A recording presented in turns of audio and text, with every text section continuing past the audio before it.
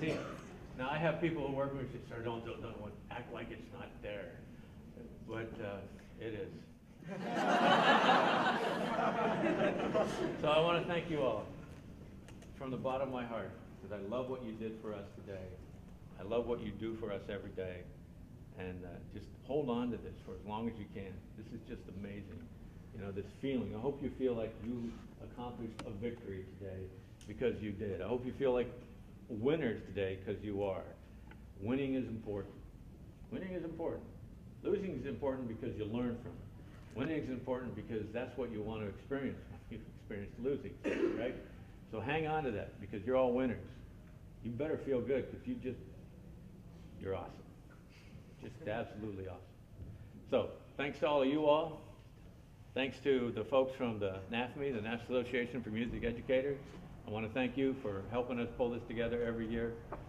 And I want to thank each one of you for uh, agreeing to come here. I know we drug you up here in this miserable weather with promises of warm and sunny Texas. But it's nice today. And you guys, all of them, even the woodwinds, were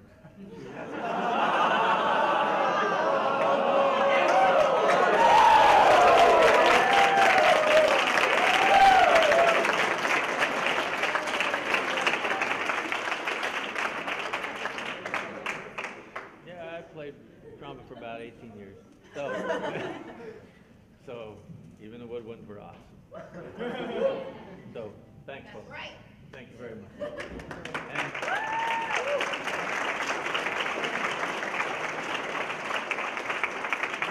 if any of you ever want to know more about the Army, grab one of those guys, gals right back there, and just ask them. They'll tell you what it's really like.